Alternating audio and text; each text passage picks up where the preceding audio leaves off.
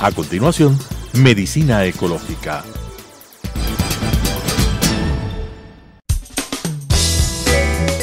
Clasificación A. Apto para todo público.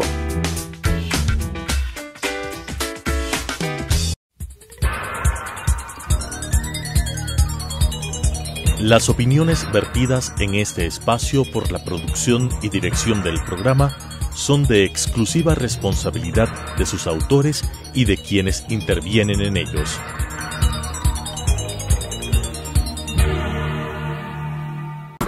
Telesucesos Canal 29 UHF presenta Medicina Ecológica, un nuevo enfoque de la salud pública diseñado especialmente para mejorar la salud de todos los habitantes en armonía con la naturaleza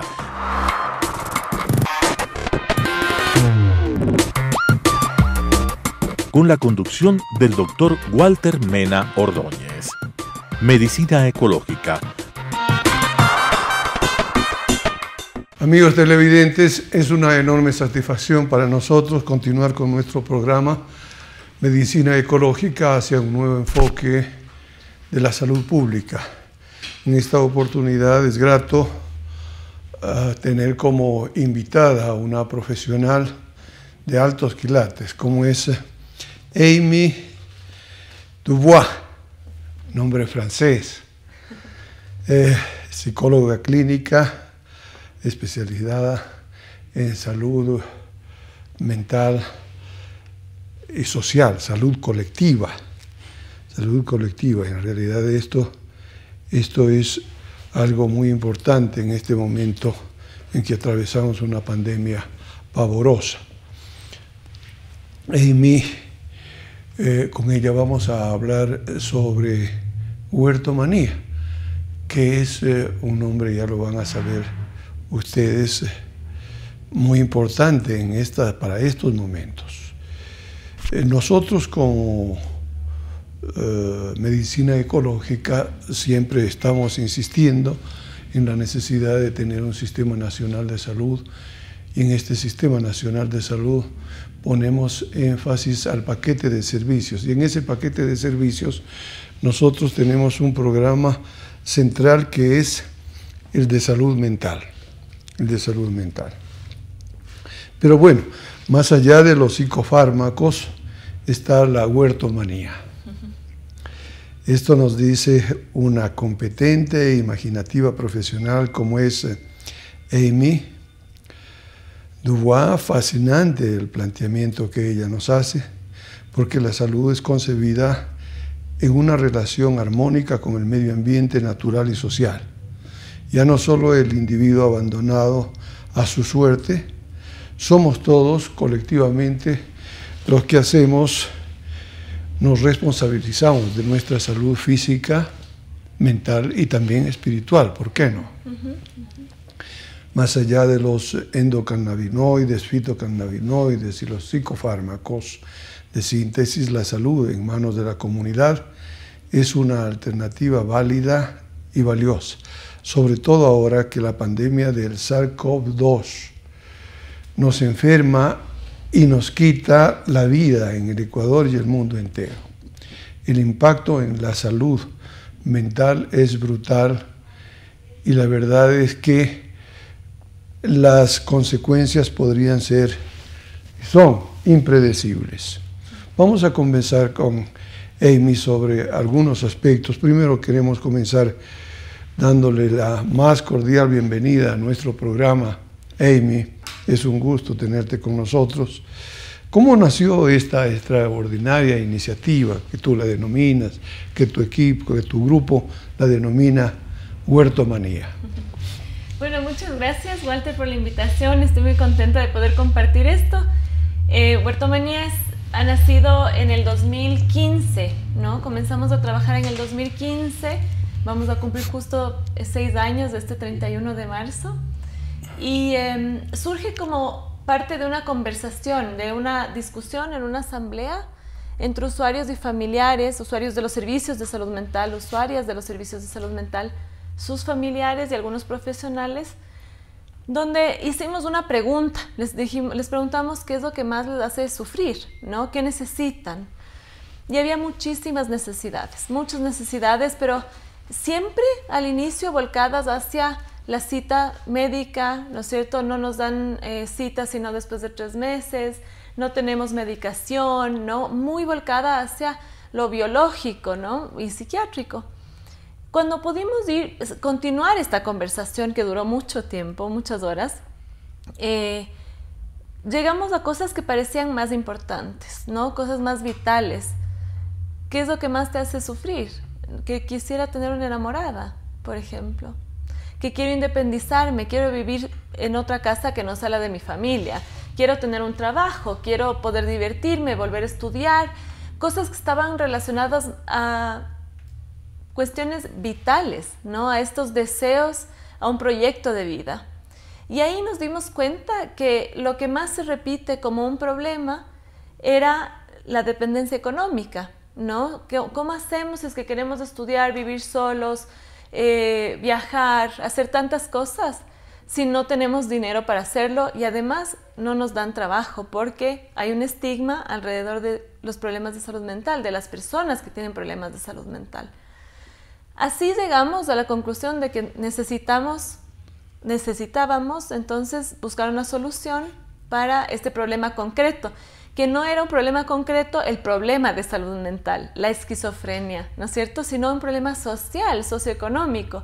¿Cómo hacemos para resolver esto de la dependencia económica? Así pensamos, entonces, o sea, llegamos juntos a la conclusión de que necesitábamos hacer un emprendimiento productivo.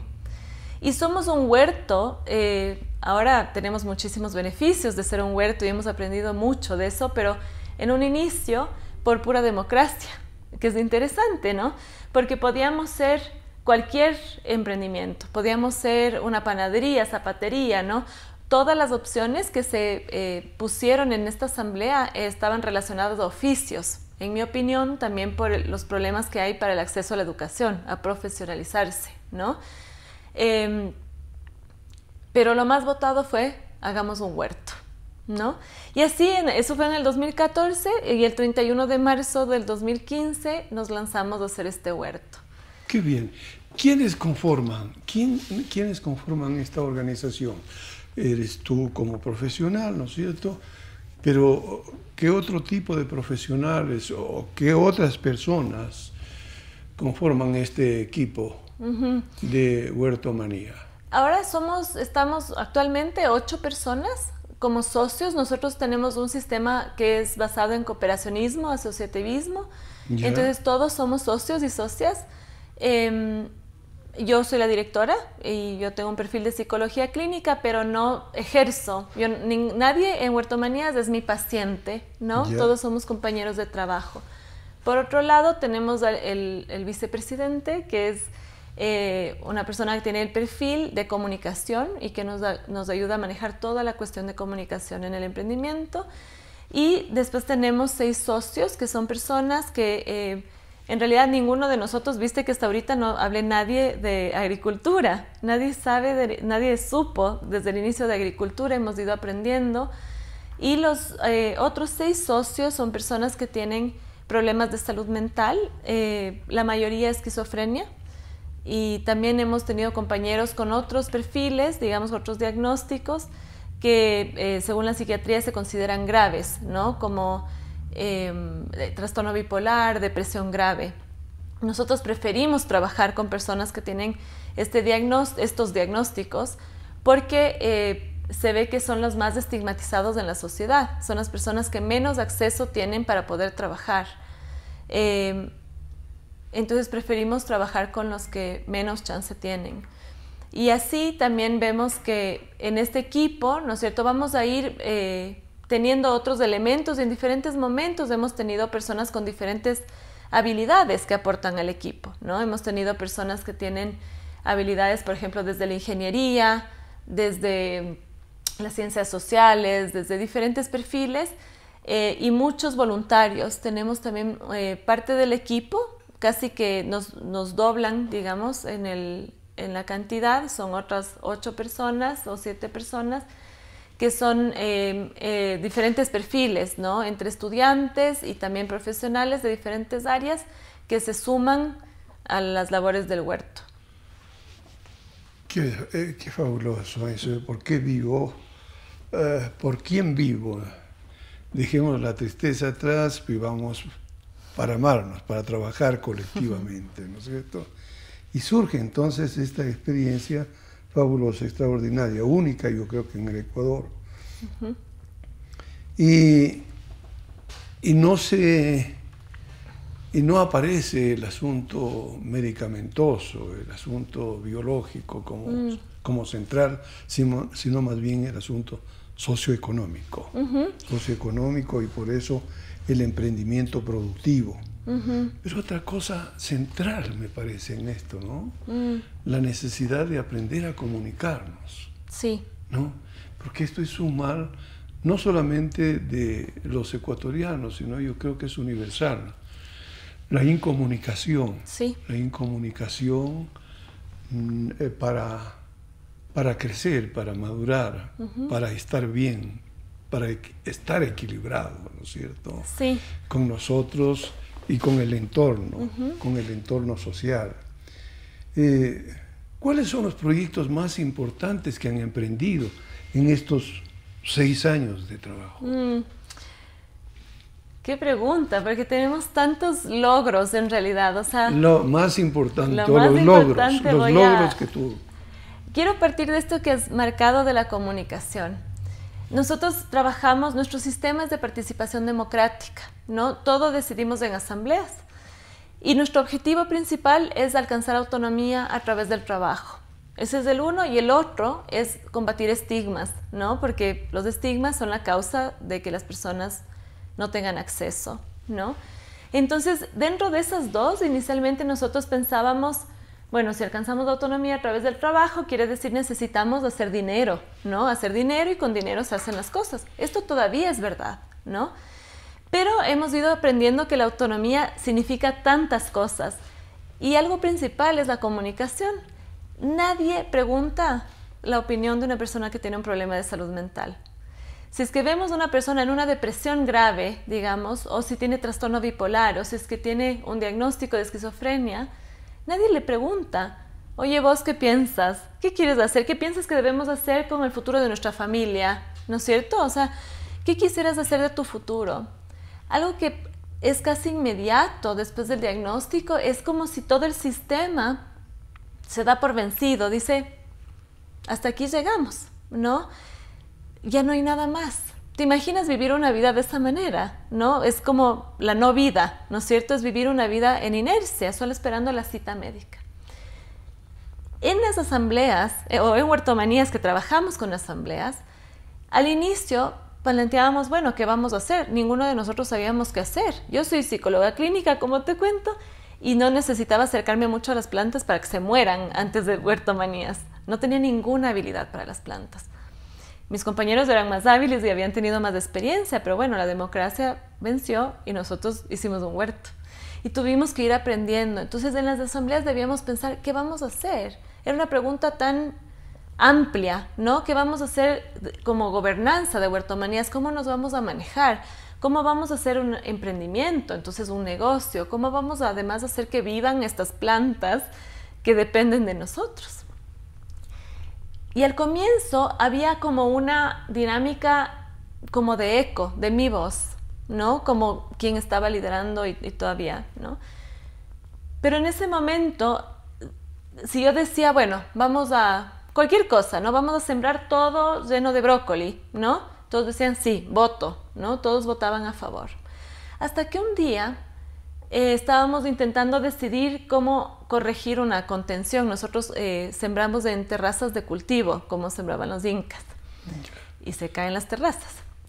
Entonces estábamos arreglando esto y, venía, tenemos mucha ayuda al inicio especialmente, venía un ingeniero, eh, nos decía una cosa, otro ingeniero nos decía otra cosa, y, íbamos, y hacíamos cada cosa que nos decían.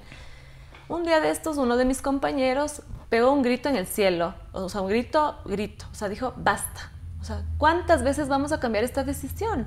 Hacemos la cama de una forma, después cambiamos y hacemos de otra manera, nos dice alguien más de otra forma, decidamos nosotros. ¿No? Entonces ese rato nos quedamos todos secos. Convocamos una asamblea en ese minuto. Nos fuimos, entonces nos sentamos en la asamblea y dijimos, ¿qué vamos a hacer? ¿Y qué vamos a decidir? Y decidimos una cosa que todavía no se cae, todavía funciona, pero además es esta cosa de colectivizar la responsabilidad y participar de la toma de decisión.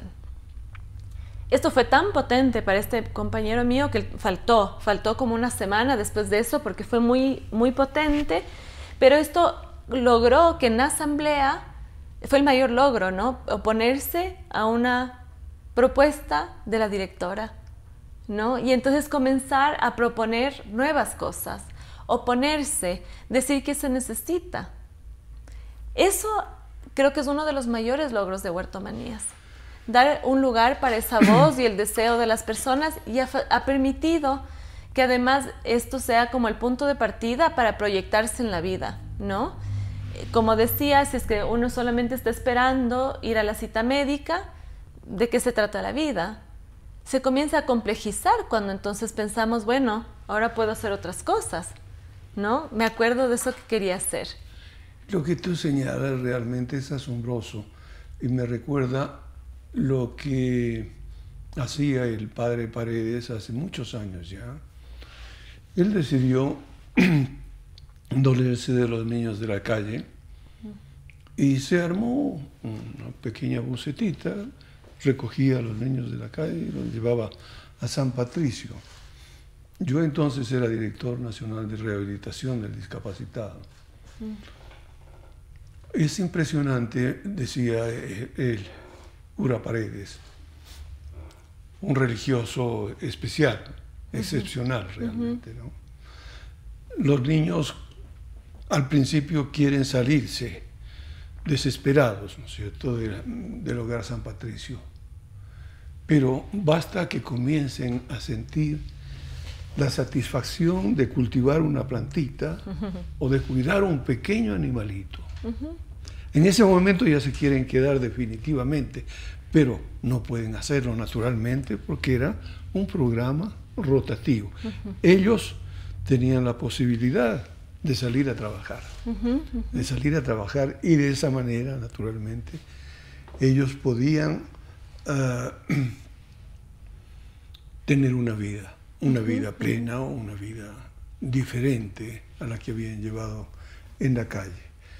El trabajo colectivo, la toma de decisiones, la democracia, ah, la actividad asamblearia, eh, esto de eh, rechazar por todos los medios los estigmas, son yo creo que los baluartes de este, de este extraordinario programa que ustedes están realizando. Eh, a propósito de la COVID, ¿Cuál crees tú que sea la mejor respuesta para este, esta cascada realmente de tristeza, de dolor, de angustia, mm. de miedo, de zozobra, ¿no es cierto?, que sentimos los seres humanos, ¿no? Que es humano, todos estos eh, afectos, ¿no es cierto?, que, que enumero son cosas humanas que todo, todo mundo las podemos sentir. Lo importante es controlarlas. ¿Cómo crees tú, desde el punto de vista de huertomanía, que se puede dar la respuesta más adecuada a estos, a estos problemas, estos problemas de angustia, ¿no es cierto?, que estamos atravesando como consecuencia de la pandemia. Sabes que en, en Huertomanías nosotros lo primero que hicimos cuando estuvimos en cuarentena, la primera preocupación fue qué vamos a hacer para estar bien, ¿no? Para que tengas una idea, algunos de mis compañeros nunca habían hecho una videollamada, tienen otros intereses, no estaban en el celular como todos estamos, ¿no?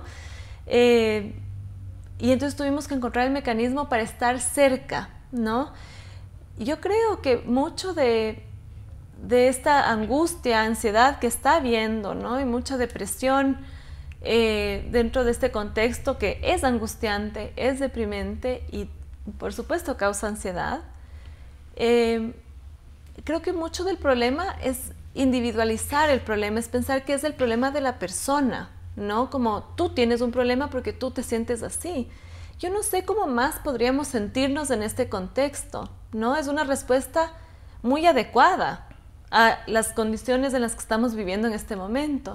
especialmente siendo que somos seres sociales y nos dicen hay que mantener distanciamiento social, ¿no? No es un distanciamiento social, es físico el que tenemos. Entonces, volver a cultivar esas conexiones, el mirar cómo mantener las conexiones y saber que todos estamos, ahora sí es, es un fenómeno tan interesante esto de la pandemia, ¿no? Que todo el mundo hoy por hoy puede decir que en algún momento se sintió de esa manera. Todo el mundo. Más o menos, ¿no es cierto? Para mí un poco el problema es este reflejo que tenemos de patologizar cualquier emoción humana, ¿no es cierto? Cualquier comportamiento humano. Y entonces ahora en pandemia, la desesperación en este contexto, la, la incertidumbre que tú comentabas, ¿no? Y todas estas...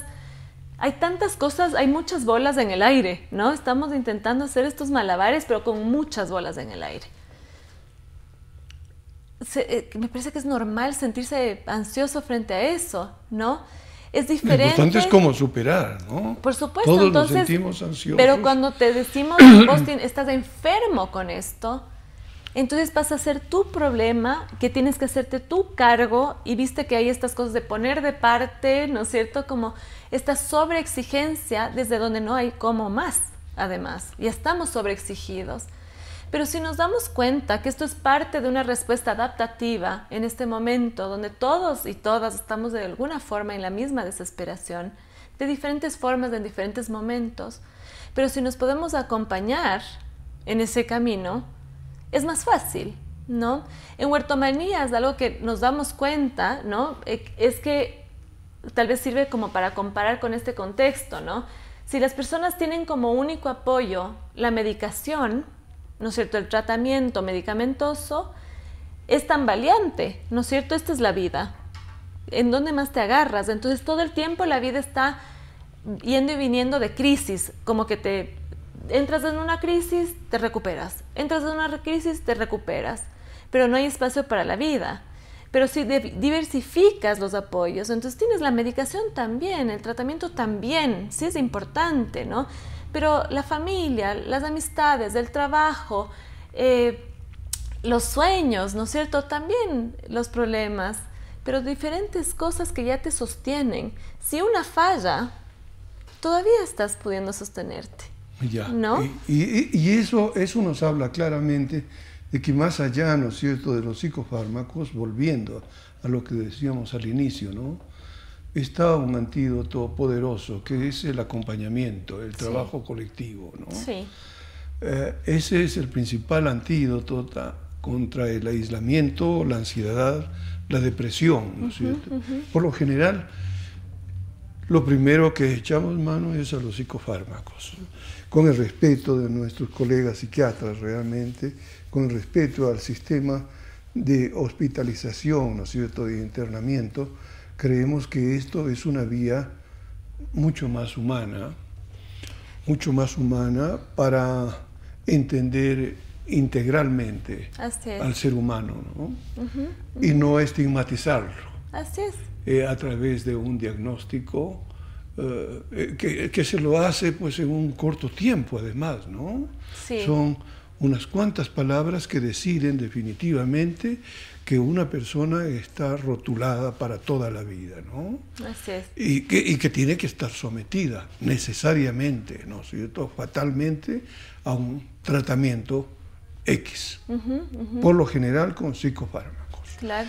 Como eh, vuelvo a repetir, no estamos en desacuerdo con la utilización de los psicofármacos y el sistema de salud, ¿cierto?, concebido desde el hospital del sistema médico, pero creemos que esta es una alternativa válida, sobre todo ahora, que la angustia, ¿no es cierto?, hace escarnio en todos los seres humanos, no solamente en nosotros, los ecuatorianos, sino en todo el mundo.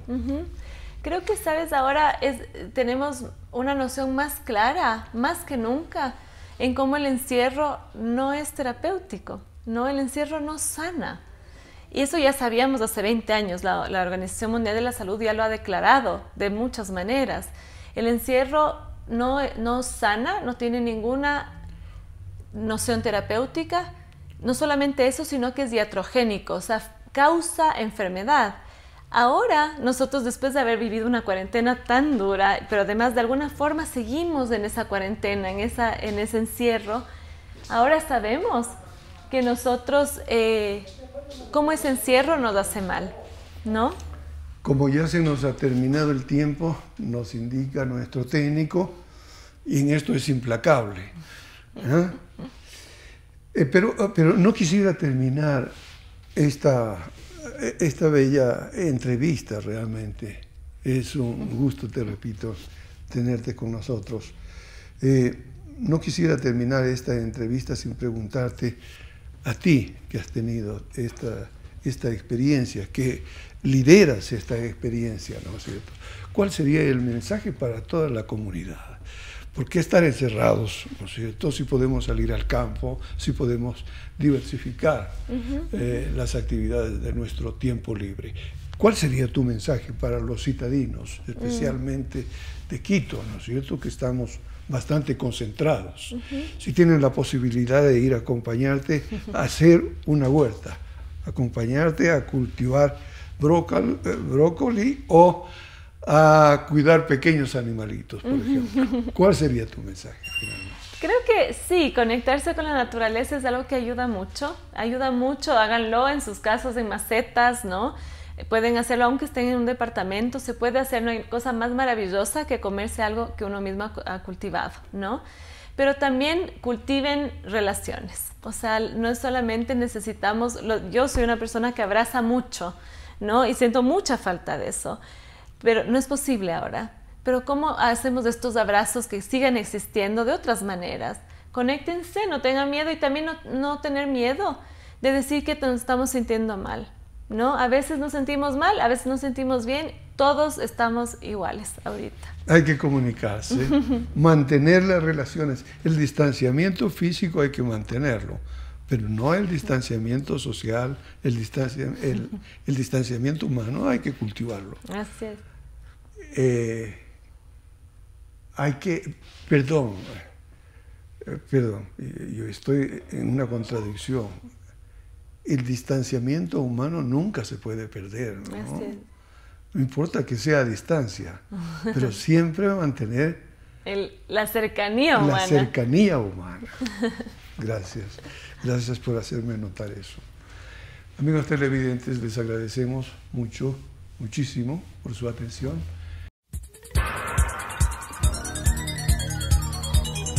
Las opiniones vertidas en este espacio por la producción y dirección del programa son de exclusiva responsabilidad de sus autores y de quienes intervienen en ellos.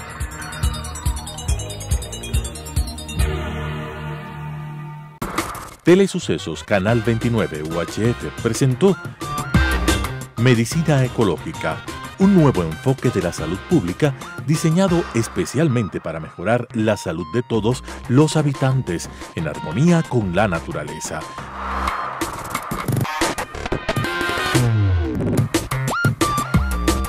Con la conducción del doctor Walter Mena Ordóñez. Medicina ecológica